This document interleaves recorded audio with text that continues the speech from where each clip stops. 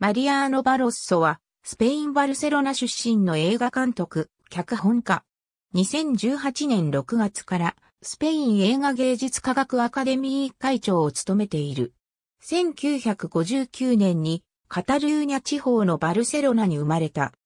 アメリカ合衆国、ロサンゼルスにあるアメリカンフィルムインスティチュートというユタ州にあるサンダンスインスティチュートで映画制作を学び、マドリードのテアトロエスパニョールとウィリアム・レイトン研究所で舞台制作を学んだ。1982年以降に19本の作品を監督している。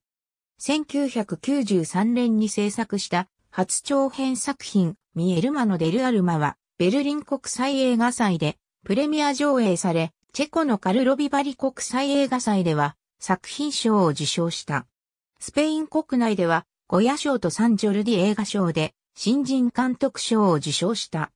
1996年に制作したエクスタシスはハビエル・バルデム主演のドラマ映画であり、第46回ベルリン国際映画祭のコンペ部門に出品された。